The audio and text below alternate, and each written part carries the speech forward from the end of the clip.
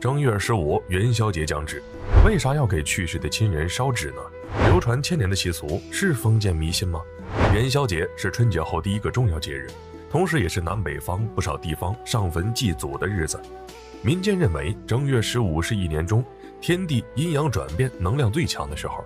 按习俗，人们需要在家里或祠堂供奉祭品，焚香磕头祈福保佑，希望祖先神灵保佑子孙后代兴旺发达、幸福安康。古人常说，春节这一小段时间是人神沟通的最佳时期，如果善用，可以帮助个人能量快速提升。因此，祭拜祖先、感恩祖宗父母、山河大地、日月星辰，感恩宇宙给予我们成长的机会，就必不可少。元宵节乃是由汉代宫廷的一种祭典演变而来，在民间也很有影响。汉武帝时，太乙神祭祀活动就定在正月十五。太微者，太一之庭；子宫者，太一之居，皆星主也。东皇太一是先秦时期楚国神话中的最高神祇，他由上古时期的神龙所化，拥有掌管人间福祸之事的能力。在这一天，每年都会举办盛大的仪式，向掌管人间命运、主持生死公道的天官，祈求风调雨顺、健康长寿。而他也会亲临人间巡查善恶，并赐福人间。而家家户户都会在那一天燃灯为天神指路。每逢此夜，皇帝必出宫游玩，与民同乐。可见当时人们对于这个节日有多么重视，以至于通宵庆祝。值得一提的是，在这月圆夜华的时刻，如果是祭拜神灵，可以烧纸；如果是祭拜佛菩萨，就只烧香不烧纸。民间视死如生，祭神如神在。若是能和祖宗神灵相互沟通、相互和谐，祈求家庭幸福、无病无灾，或求子或求财，自然会身体健康、事业顺利。因此，在元宵节祈福驱灾、占卜命数等，也就成了常有的事。生老病死乃是个人常态，我们每个人都无法避免。不过，活人过年，亡人也过年；活人过元宵，亡人自然也要上灯。说起来，也是给自己一个精神寄托。因此，上元节是祭祀魂灵的重要节日。元宵节如何烧纸祭祖？这些讲究和忌讳，你要知道。正月十五是一年中第一个月圆之夜，我国乃礼仪之邦，从古到今都对祖先尊重。因此，在这一天，除了祈福纳祥之外，还有一项活动就是祭祖。有道是三十的火，十五的灯，在外的游子除夕可以不回，十五是要回的。因此，在某种意义上，元宵节甚至比春节还更为重要。人人往往会在这一天全家出动为祖宗送灯。听说元宵节这天晚上送灯还是很有讲究的，在正月十五去给自家的祖坟送灯送亮，代表整个大家族后继有人。因此，先祖的墓前必须要有亮。正所谓元宵掌灯，清明扫墓。正月十五元宵节给故去的亲人送灯的习俗，据说是从明朝开始的。当初朱元璋登基后，在光山新县一带寻找父母的祖坟时，已经不知道哪座坟是自己家的了。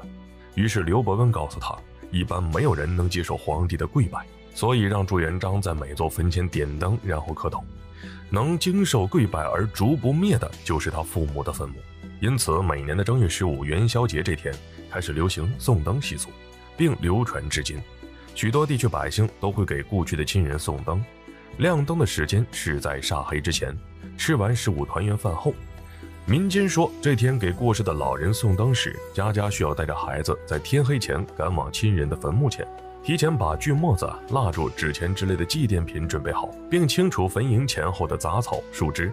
一般燃亮的蜡烛大多选红烛，管的时间越长越好。最忌讳的就是点灯时燃烧白色蜡烛，期间如果碰到熟人，只能点头示意。因为如果在坟前与人谈笑风生，会惊扰逝者。同时，这项禁忌也是为了表示祭奠先人和逝者的严肃心情的沉重。如此一代一代上传下教，彰显传统。其次，到坟前点灯时不能借火。送灯的初衷本就是为亡人送灯，寄托思念之情。人们认为借火点灯意味着自家的日子过不起来，因为祭祖是件大事。如果点灯连火都忘记，又如何证明你心存感激与敬畏呢？元宵节为什么要给逝去的亲人烧纸钱呢？这几千年的习俗当然不仅仅是一种迷信。纸钱又称冥钱、冥币，古人尊崇视死如是生，印度人认为可以用火将祭品传递给神灵，因为受这种思想的影响，亲人去世，清明扫墓，元宵祭祖。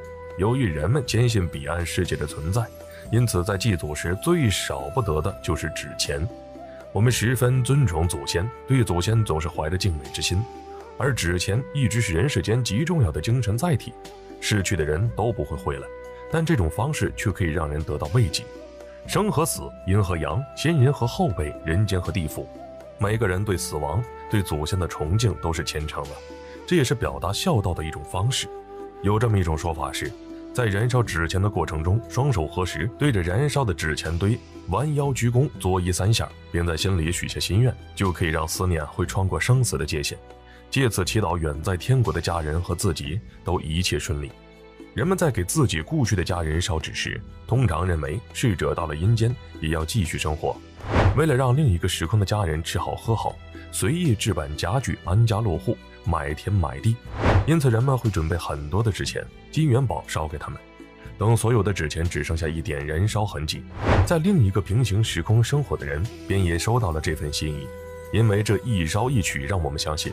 他们可以在天堂随心所欲地购买自己想要和需要的物品，有了这份钱会更加富足，过得更好。时至今日，对于烧纸，人们持有不同的意见。有人认为仰仗先人的保佑是把烧纸变成了一种不科学的迷信行为，而有人认为一个孝字大于天，逢年过节的去给故去的家人烧纸，是为了提醒还在世的人不要忘记逝者。在思想开放的今天，很多事情是存在即合理。某种意义上，纸钱给了我们一个宣泄口，让我们相信世间所有离别终会以另一种方式重逢。